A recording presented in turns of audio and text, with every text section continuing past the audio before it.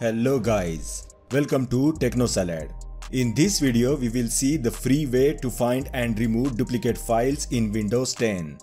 It is very necessary to find duplicate files as such files consume disk space, clutter up the hard drive and in turn makes the PC run slower.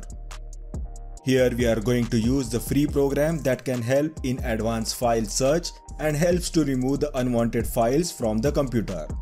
I am talking about CCleaner utility.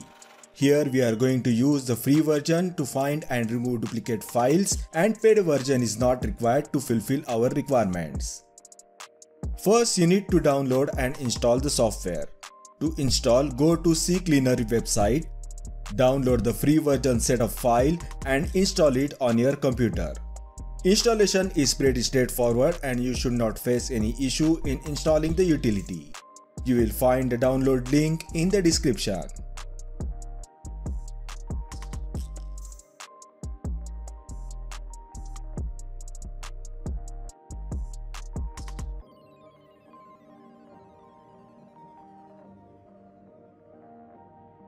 Once the software is installed, open CCleaner. Now select Tools option from the left sidebar. Select Duplicate Finder option.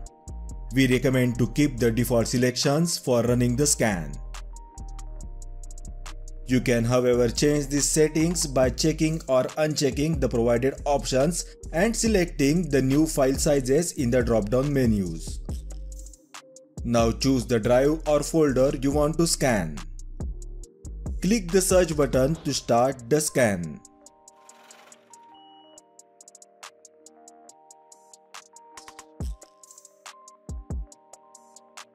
Once the scan gets over, CCleaner will show all the duplicate files with details like name, file path, file size and creation date.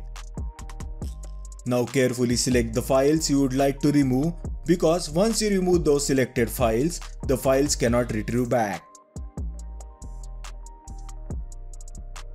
After selecting the duplicate files, click on delete selected and CCleaner will delete those files from your computer.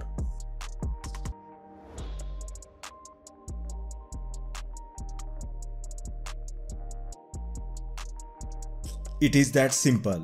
So that was the way to find and remove the duplicate files from the Windows computer. Hope you like the video. If you find the video helpful, then please like and share the video. If you are new to the channel, then please subscribe and ring the bell icon to receive the notifications of our upcoming useful tech videos. Thanks for watching and I will see you in the next video.